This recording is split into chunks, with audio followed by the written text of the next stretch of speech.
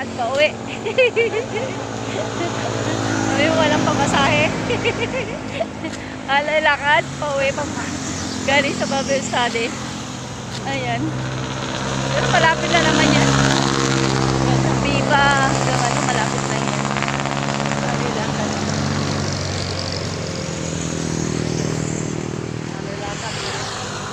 Malapit, al- al- ha? Ay, sa lawang ko, malapit na tayo eh. Yan. Si, magkano? 10 peso. Di nakatipid tayong, nakatipid tayong sa Kelsa. Diba? Yung kila SP nga. Ano yun? 20 din. Dalawa rin sila, oh. Ano yung lakad?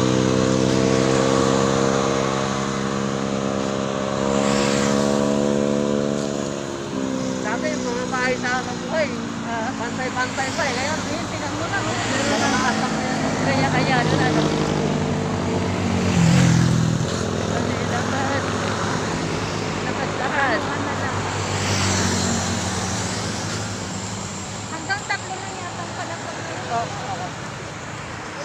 dikit-dikit kasi.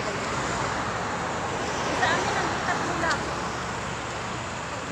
Alin yung pataasan? Mataas to. May permit na. Kung nga magawa na ng permit dun sa ano, sa... Dito kanina ba? Siya meron dito na kanina eh. May banggaan dito kanina. Kanina umaga. Oh? May banggaan dito. Dito ba mura? Hmm. Sa, yung kotse. Siguro paglabas niya ata dito parang Siguro po. Nag-uulog Oh, tapos ano siya? Ayun guys. Dito na tayo.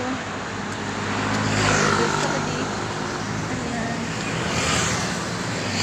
Ay.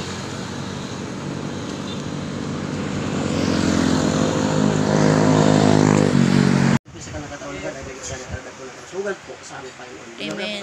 Kapo na pasalamat sa ating Lord Jesus. Amen and amen, amen. Thank you, Lord. Sige na. Kulang pa baso? Okay, kaya push ka siya.